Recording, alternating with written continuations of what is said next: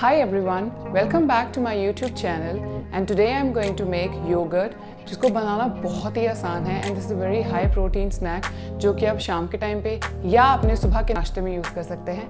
So let's start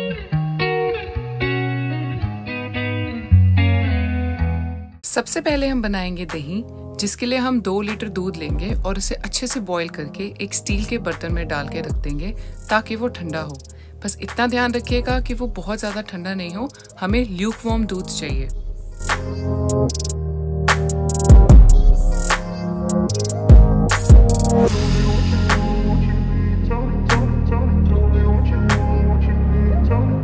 अब हम एक बड़ा चम्मच भर के दही का इसमें डालेंगे और उसे अच्छे से मिक्स करेंगे।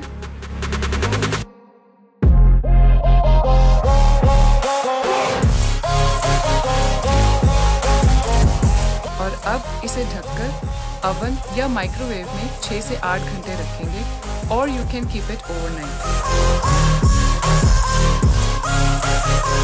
जैसे कि आप देख सकते हैं, हमारा कर्ड तैयार है। अब हम इसे दो से तीन घंटा फ्रिज में रखेंगे। अब हम एक बर्तन लेंगे और उसके ऊपर मलमल का कपड़ा बिछाएँगे और उसमें तीन कप कर्ड मेजर करके डाल देंगे।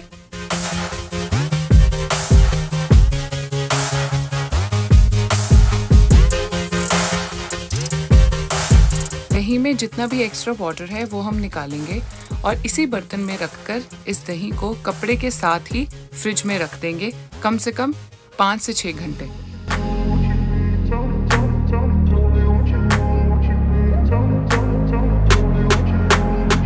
जैसे कि आप देख सकते हैं, सारा एक्स्ट्रा पानी निकल गया है and now the yogurt is ready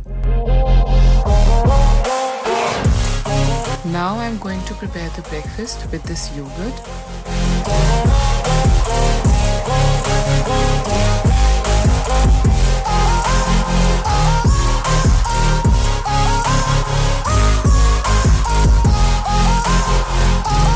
I am adding mangoes, chocolate granola and hemp seeds as toppings.